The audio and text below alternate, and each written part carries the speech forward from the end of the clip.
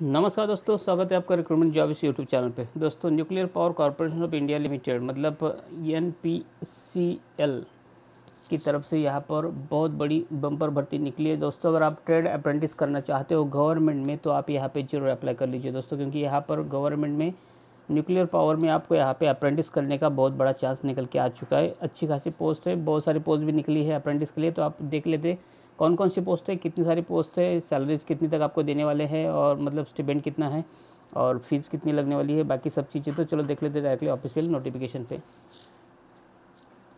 दोस्तों, आप देख सकते हैं आपके सामने ओपन हो चुका है notification N P C L recruitment दो हज़ार इक्कीस का।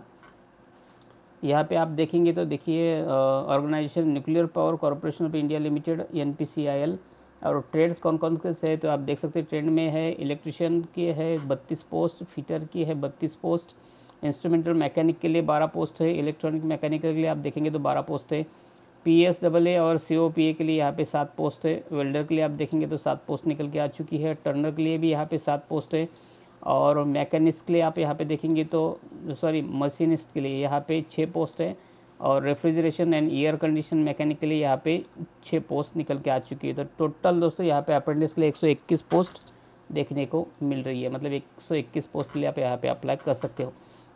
दोस्तों एजुकेशनल क्वालिफिकेशन कुछ भी नहीं है। आप यहाँ पे देख सकते हैं, सिर्फ़ अगर आप आईटीआई होल्डर हो तो ही आप यहाँ पे अप्लाई कर सकते हो। सिर्फ़ आपने आईटीआई किया होना चाहिए, वो भी सेम ट्रेड में। दोस्तों, बाकी स्टिपेंड की बात करें तो आप यहाँ पे देख सकते हैं, अगर आपका वेल्डर या पी एस ए अगर ट्रेड है तो सात हज़ार सात सौ आपको यहाँ पे सैलरी मिलने वाली है मतलब स्टिपेंड मिलने वाला है। और अगर आपका बाकी ट्रेड है, जैसे कि electrician fitter instrumental mechanic electronic mechanic turner या मैकेनिस्ट या refrigeration and air condition mechanic तो आपको यहाँ पे आठ हज़ार आठ सौ पचपन रुपये मिलने वाला है। दोस्तों एप्लीकेशन फ़ीस की बात करूँ तो आप यहाँ पे देख सकते हैं, आपको कुछ भी फ़ीस नहीं लगने वाली। और एज लिमिट की बात करूँ तो आप यहाँ पे देख सकते हैं, पंद्रह जुलाई 2021 को आपका एज मिनिमम चौदह साल होना चाहिए और मैक्सिमम चौबीस साल होना चाहिए। और दोस्तों, यहाँ पर अगर आपको एज रिलेशन भी मिलेगा, अगर आप एस सी हो तो पाँच साल का और अगर आप ओबीसी कैंडिडेट हो तो तीन साल का। और अगर आप पीडब्ल्यूडी हो तो आपको यहाँ पर दस साल का रिलेशन देखने को मिल रहा है। दोस्तों, बाकी इंपॉर्टेंट डेट्स की बात करें तो आपको लास्ट डेट यहाँ पे अप्लाई करने के लिए मिल रही है पंद्रह जुलाई मतलब आपको पंद्रह जुलाई के अंदर यहाँ पे अप्लाई करना ज़रूरी है। सिलेक्शन किस तरह से होगा तो आप देख सकते हैं आपका टोटल आईटीआई की जो मार्क्स लिस्ट रहेगी, उसी के ऊपर आपका सिलेक्शन होगा। जितने आपके मार्क्स ज़्यादा रहेंगे उसी के ऊपर आपका सिलेक्शन होने वाला है। दोस्तों, बाकी चीज़ें कुछ नहीं है यहाँ पे। आप कोई भी स्टेट से हो तो भी आप यहाँ पे अप्लाई कर सकते हो। दूसरी बात दोस्तों, ये जो जॉब है मतलब जॉब लोकेशन है, वो गुजरात का है। और आपको अप्लाई किस तरह से करना है तो आप देख सकते हैं। आपको यहाँ पे ये जो एड्रेस दिख रहा है, यहाँ पे आपको हार्ड कॉपीज़ भेजनी है पहले। और मतलब आपको वेबसाइट दी गई है, वहाँ पे जाके आपको अप्लाई करना है। उसके बाद में वो जो कॉपी है, उसके साथ में जो सपोर्टेड डॉक्यूमेंट्स लेके आपको इस एड्रेस पे भेजने हैं तो यहाँ पे आपके डॉक्यूमेंट्स पहुँच जाने चाहिए। डेट मैंने आपको पहले ही बताई, वहाँ तक आपको यहाँ पे जाना ज़रूरी है पंद्रह जुलाई तक। बाकी दोस्तों, अगर आप ऑफिशियल नोटिफिकेशन देखना चाहते हो तो आप यहाँ पे देख सकते हो ऑफिशियल नोटिफिकेशन करके जो लिखा है, उसके ऊपर जैसे क्लिक करोगे आप क्लिक हेयर पे तो आपके सामने ओपन हो जाएगा ऑफिशियल नोटिफिकेशन आप देख सकते हैं आपके सामने ओपन हो चुका है ऑफिशियल नोटिफिकेशन फिर यहाँ पे जाके आप चेक कर सकते हो सारी चीज़ें। देखिए लास्ट डेट यहाँ पे पंद्रह जुलाई दिख रही है आपको सामने।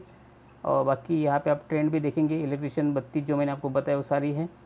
बाकी यहाँ पे एजुकेशनल क्वालिफिकेशन भी आप देख सकते हैं, सिर्फ़ आई होना ज़रूरी है सेम ट्रेंड में जिसके लिए आप अप्लाई करना चाहते हो। दो पोस्ट है टोटल जो मैंने आपको बताई पहले ही। और बाकी चीज़ें आप यहाँ पे देख सकते हैं, जो भी मैंने बताया वो सारी चीज़ आपको यहाँ पे देखने को मिलेगी। यहाँ पे कुछ फ़िज़िकल स्टैंडर्ड्स भी ज़रूरी है। तो वो क्या है? चलो मैं आपको दिखा देता हूँ। देखिए, आप उम्मीदवार के पास शैक्षणिक अभियता उन्नीस के तहत शारीरिक मानदंड होना ज़रूरी है, जैसे कि ऊंचाई आपकी 137 सेंटीमीटर होनी चाहिए, वज़न 25.5 किलोग्राम होना चाहिए, एवं छाती का आकार छाती का फूलना 3.8 सेंटीमीटर तक होना चाहिए, उससे कम नहीं होना चाहिए। तो ये कुछ फ़िज़िकल स्टैंडर्ड्स है, वो भी आपको देखने पड़ेंगे। तो ये सारी चीज़ आप यहाँ पे आके चेक कर सकते हैं। सारी चीज़ आपको यहाँ पे देखने को मिलेगी। तो आई होप दोस्तों सारी चीज़ आपको समझ में आई होगी। वीडियो अच्छा लगा तो वीडियो को लाइक कीजिए, दोस्तों के साथ में शेयर कीजिए। और अगर आप सचमुच गवर्नमेंट जॉब पाना चाहते हो तो मेरे चैनल को सब्सक्राइब कर लीजिए दोस्तों, क्योंकि यहाँ पर मैं रोज़ ऐसे वीडियोज़ लेके आता रहता हूँ, जो कि गवर्नमेंट जॉब्स के बारे में होते हैं। तो दोस्तों चैनल को सब्सक्राइब करने के लिए वीडियो के नीचे आपको रेड कलर का बटन मिलेगा सब्सक्राइब लिखा उसको दबा के सब्सक्राइब कर लीजिए। साथ ही साथ बेलाइकन आएगा, उसको दबा के ऑल पे सेट कर लीजिए, ताकि जैसे मैंने वीडियो बना उस नोटिफिकेशन सबसे पहले आपको मिलती रहे।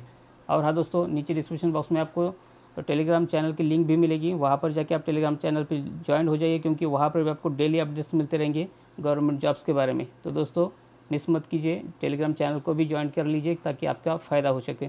तो दोस्तों, मिलते हैं नए जॉब के साथ में, नए वीडियो में, तब तक के लिए धन्यवाद।